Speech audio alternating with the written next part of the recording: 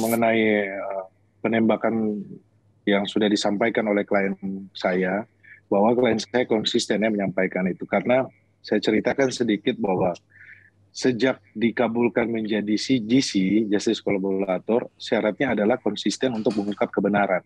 Ya. Nah karena memang uh, dari LPSK sendiri akan menilai bahwa klien saya ini Barada ini jujur atau tidak.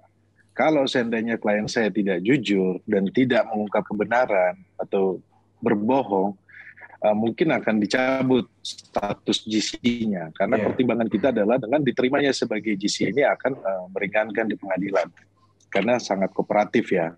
Itu pertama itu uh, latar belakangnya. Jadi kalau berbicara soal mengenai kronologisnya yang ada di Duren 3 klien saya tetap konsisten bahwa saudara FS juga ikut menembak Nah, mengenai uh, dibantahnya oleh saudara FS itu mungkin haknya dia hak ingkar ya, tetapi nanti kita akan uji di pengadilan kan kalau di pasal 156 uh, KUHP ayat 6 itu menjelaskan kan uh, persesuaian saksi dengan saksi, persesuaian hmm. saksi dengan alat bukti yang lainnya. Nah, kami kami melihat bahwa kerja dari tim sus atau penyidik ini pastinya kan um, tidak hanya berdasarkan keterangan saksi saja, pastinya kan juga ada alat bukti yang lainnya, tetapi memang belum bisa uh, saya sampaikan saat ini karena ada kepentingan uh, saya di pengadilan untuk pembelaan.